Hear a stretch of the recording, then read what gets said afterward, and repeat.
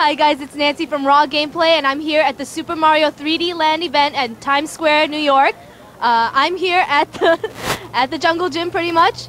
There's the pipe on the left side, and there's the coin block over here where we step on a trampoline. Then there's the other trampolines on the corner, and then lastly, there's the flagpole event where you just kind of stand there and act like Mario. Um, grab that flag of justice.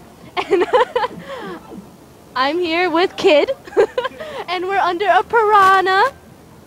There's so many. there's no problem. No problem.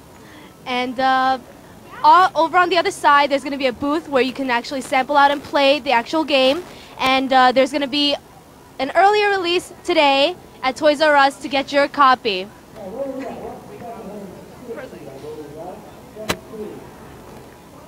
Uh, cut for a second.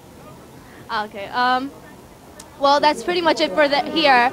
Um, there are tons and tons of people, and I was not able to get my tail.